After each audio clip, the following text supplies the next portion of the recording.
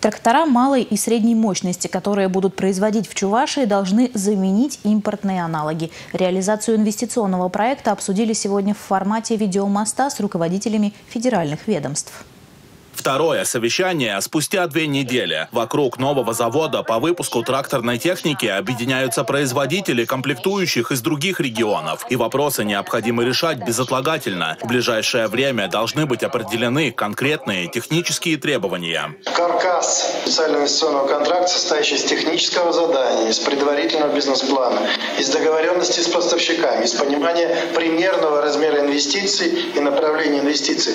Какая от нас нужна помощь, чтобы эти процессы у вас прошли более эффективно и более быстро. У нас техническое задание должно быть вписано двигатель современной экологических требований, это принципиально важно. Там существует два варианта. Как, вот, как говорили, вот этот первый четырехлитровый двигатель, который разработан, который 130 лошадиных сил, мы посмотрим, можно ли его привязать. И второе, у них э, в планах как раз разработка там двигателей, ну, линейки двигателей для строительно-дорожной тракторной техники. Новая линейка тракторов будет оборудована двигателями с минимальным выбросом вредных веществ и интеллектуальными системами управления. Спрос на технику большой. За год на заводе планируют выпускать порядка 5000 машин. Реализация проекта такого масштаба была бы невозможной без поддержки федерального центра. И в Рио главы республики ею заручился в первую очередь. Для производителей предусмотрены преференции, отметил Олег Николаев.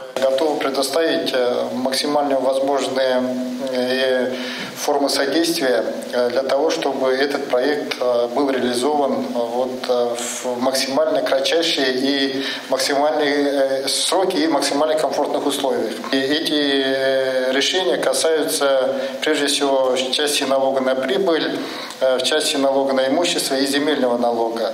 Очевидно, все эти преференции устанавливаются на самых низких позициях, которые нам предоставляет возможность налоговый кодекс Российской Федерации. То есть нулевая ставка по налогу на прибыль, 0,1 по налогу на имущество и, соответственно, 0,1 по налогу на землю. Обсуждение проекта продолжается. Инвестиционный контракт планируют подписать до сентября. Дмитрий Ковалев, Валерий Резюков, Республика.